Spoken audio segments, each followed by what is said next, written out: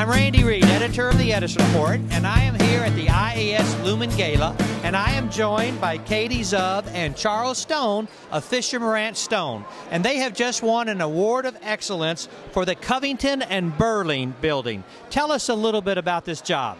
Well, it's about half a million square feet of very high-end, bespoke, uh, beautiful modernist law offices in Washington, and uh, of course, it's all LED and it's a crisp and minimal expression of uh, a new a new kind of interior for lawyers, which is very fresh and and clean.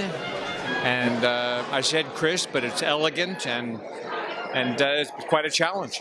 Well, the pictures look phenomenal that we just saw. Tell us a little bit about the LEDs that you use and the color temperature and what you were trying to achieve. Well, Katie knows everything.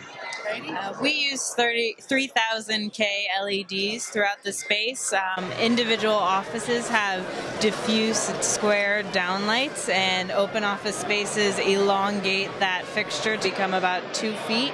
So everything is diffuse, um, not point sources, and then there is additional uplighting throughout. And we use luminous surfaces that range from gigantic, uh, 50 or 60 feet long, to squares that are four, five, six inches, and, and, and so the luminous idea is all over the ceilings. Okay, and continuous. How long did the job take to design? Oh, oh no one knows. years. Three years.